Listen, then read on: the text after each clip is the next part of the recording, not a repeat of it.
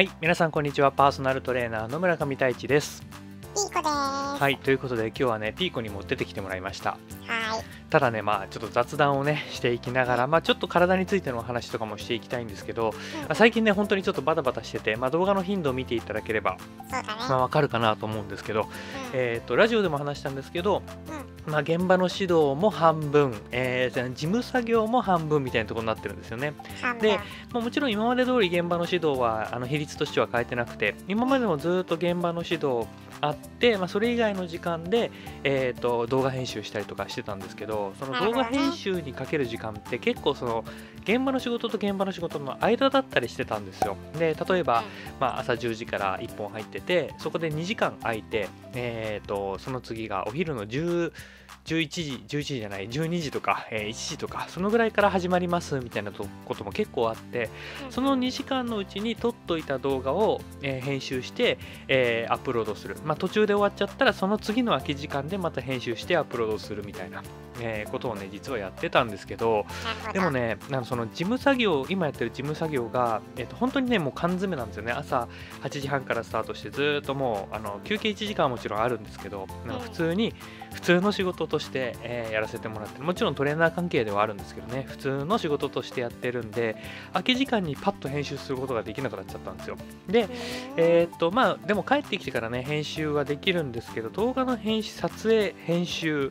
で、えーまあ、アップロード。トータルかけてねやっぱね2時間3時間はね少なく見積もっても欲しいんですよね。そうなるとね遅くなって9時とかになっちゃうとその日に出せないみたいなこともね、えーあるんで、うん。まあちょっとその日はやめとこうかなってなったりとかして、えー出せてなかった、えー時が多いんですよね。でまあそれが11月ぐらいにちょっと落ち着いてくるのでまた元通りねしっかり出していこうかなと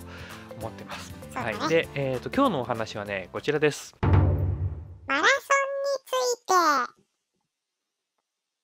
はい、マラソンについてですね、えー、と実はパーソナルトレーニングを受ける方で今度東京マラソンを走るんですよっていう方が実はいらっしゃったんですよ。なので、えー、とちょっとそんなお話をしていこうかなと思うんですけど、えー、とマラソンの時って結構皆さん何を気にして走りますか、えー、42.195キロフルマラソンまたはハーフマラソンいろいろありますけれども、えー、とやっぱり、まあ、タイムを上げたいとか、えー、と疲れずに走りたいっていうところを目標にすると思うんですけど、えっと、多くの方がやっているのがそのマラソンに向けて、えー筋力トレーニング走り込みをするんですね。もちろん走り込み筋力トレーニングも必要なんだけどその筋力トレーニングのあの強度とか間違ってないですかっていうお話です。はい。ね。うん。なんだけどあのマラソンって省エネで長い距離走りたいんですよ。で瞬発力が必要な短時間にガーンとエネルギー出すような運動ではないんですね。ちょっとずつちょっとずつ自分のその持ってるエネルギーっていうのを使いながらどれだけ長く走れるかっていう競技なので、えー、と瞬発力を出すようなトレーニングとかは必要ないんですよね。でマラソン選手見ていただければ分かるんですけど体細いですよね。ね持久系の、えー体をしているわけです。そういった時に、えートレーニングをして例えばまあ関節ちょっと弱いから関節が痛くならないように足のトレーニングしようとか言って、えーがっつり重いのでトレーニングしてたりとかすると足は確かに筋肉ついてムキムキしてくるんだけどそれで体が重くなっちゃったり、えー消費カロリーが上がっちゃうんですね。体が重くなるっていうことは消費エネルギーが上がるので、え省エネな体じゃなくなっちゃうんですよね。なので、まあ、マラソンの時はちょっと体重も落としていきたいし持久系の筋肉もつけていきたい。あとは、えー、とパワーがあればいいっていう問題じゃないないんですよ。効率よく体を前に運びたいわけですよね。そのための走り方とかも覚えなきゃいけないんでがむしゃらにジムでトレーニングしてもう本当に体力が続く限り走り込んで鍛えるみたいな感じとは実はちょっと違います。もちろん走り込んだりして心肺機能を上げたりとか、ね、トレーニングっていうのもある程度必要になるんですけど大事なのはいかに楽して走るかっていうところなんですよね。例えば、まあ、足のつき方なんか一つ考えてもそうです、えーかかとからついて足をなるべく前の方に出してついちゃうとブレーキをかけることになるのでそれはちょっともったいない走り方になるんですよね。体の骨盤の真下ぐらいに足を下ろしてしっかりフラットで着地するっていうのが走りやすい、まあ、楽に走れる走り方だったりとかもしますし、まあ、腕もね無理してこう手一生懸命振らなくても少しリラックスして脇を締めてるだけでも十分だったりしますし、えー背骨が連動してねくるくる回んなきゃいけなかったりとかも、えーするんで、まあ、そういったところを練習していかなきゃいけないんですね。なので